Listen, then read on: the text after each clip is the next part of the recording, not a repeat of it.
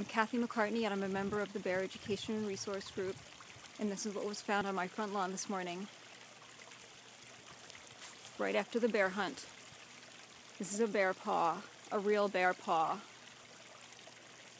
This is a message for Governor Christie and for the Division of Fish and Wildlife.